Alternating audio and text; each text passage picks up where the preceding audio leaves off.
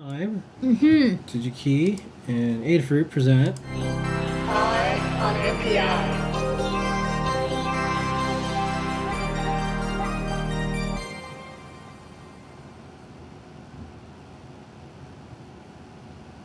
All right, this week, ST Micro, yeah, which we I got you a nice uh, vector logo. So this week's INPI is from an ST microcontroller. So uh, it is the I love how they have this rendering with the number on it. It's the STM32 WLEX, but in this case the X is going to be five. I say X equals five in this one. Why? Because I'm talking specifically about this is the STM32. You know, uh, wireless. I think that's WL, low energy. Uh, is probably what WLE stands for, and five means it's got LoRaWAN support. Okay, what what do you, what do I mean LoRaWAN? So we actually stock uh, radios and LoRaWAN radios in the store, um, and we have for a while. I really like them. What's a LoRaWAN? If you are not familiar, um, you probably know about Bluetooth, right? That's a, a, low power wireless network that communicates between you know your phone and uh, a tablet and your computer, or like your watch and you know your GPS or your heart rate monitor. And um, there's also cellular, right? That's what your phone uses, but also there's embedded cellular that gets data, you know, to and from uh, machine to machine. From you know, like a, a vending machine would send uh, data to a main uh, distribution network saying, "Hey, I'm out of Sprite. Come over and, and, fill me up with Sprite," so they know what to deliver.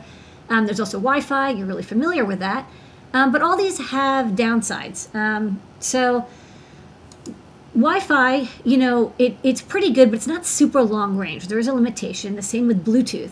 Um, and cellular has really long range because you can be like within miles of a um, uh, antenna.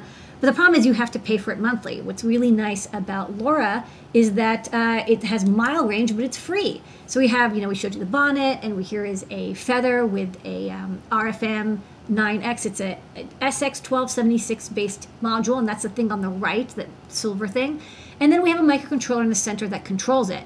Well, I mean, what if you didn't need two things, right? There's two things here microcontroller, radio. What if we squished them together? Okay, well, this is the radio that you would normally use, the SX1276.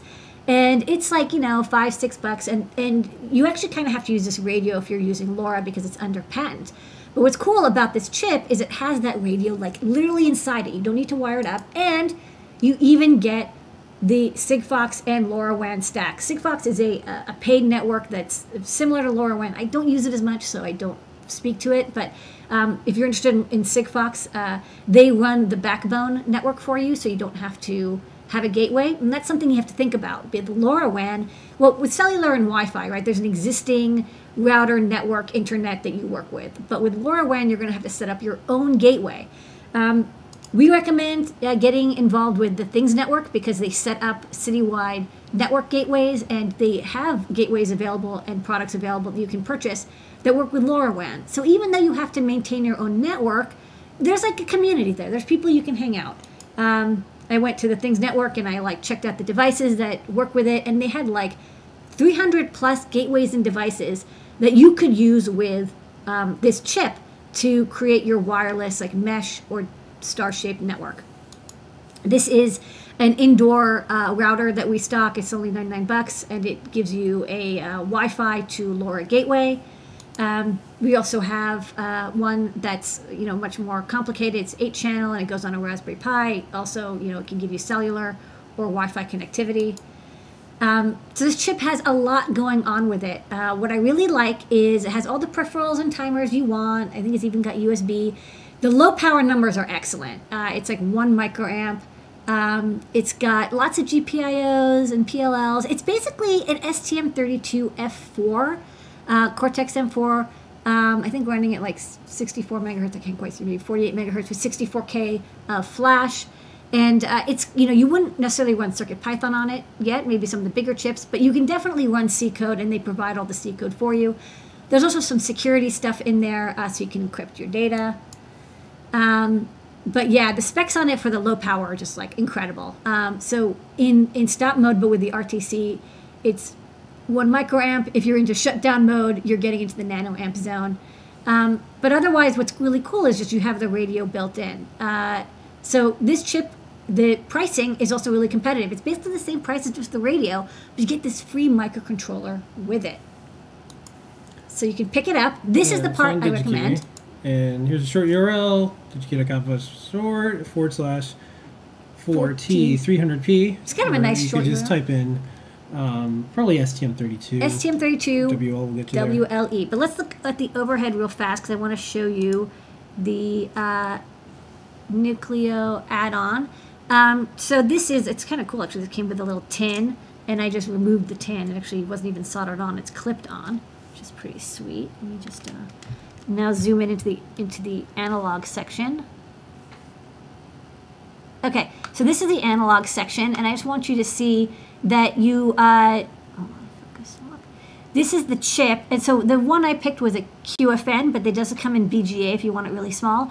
You will need to create your analog section, right? It, it, it has a radio, but you have to uh, handle all the, the antenna interfacing, and then this is the antenna. Um, it runs, I think you can do like 100 to about 1,000 gigahertz. It's sub gigahertz. Uh, you don't have to use LoRa. You can also use like FSK or, or you know BFSK or whatever. You have all the other encodings. Although I, I picked this because I really like LoRa and I, I think that the idea of an all-in-one chip is great. Um, you'll have to tune this antenna section for the antenna frequency you want. So even though just so people ask me all the time like, oh, I can tune this between 100 and 900. Well, that's assuming that your antenna is good between that range and that your your front end area is is tuned to that range. If not, you're just gonna have to pick, you know, a narrow band of about 100 megahertz and, and stick to that. So that's the um, STM32WLE 5 series. One thing to watch out for, there's also 4 and other chips. The 5 is the one that has the LoRa WAN stack come with it. So that's what I recommend if you want to do all-in-one LoRa microcontroller stuff. Okay, and we have a little bit of a short video from STM.